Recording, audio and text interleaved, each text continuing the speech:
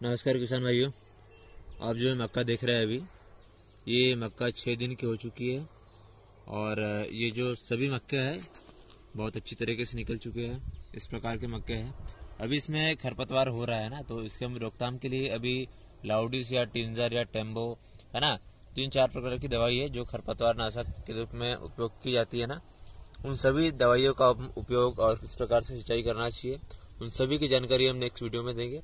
Please आप video को like and subscribe share करें, है ना? मिलते हैं नेक्स्ट वीडियो में।